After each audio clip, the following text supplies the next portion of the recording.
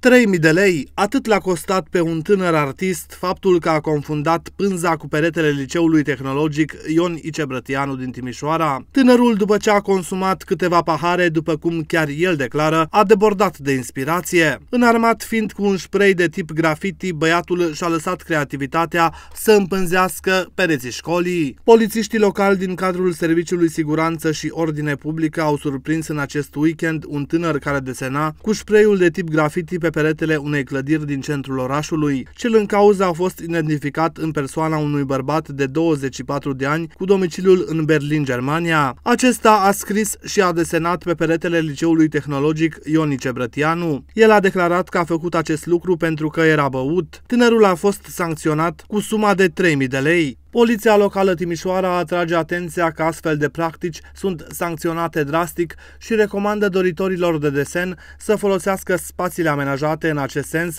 pentru a nu fi nevoit să scoată bani din buzunar, transmit reprezentanții Poliției Locale Timișoara.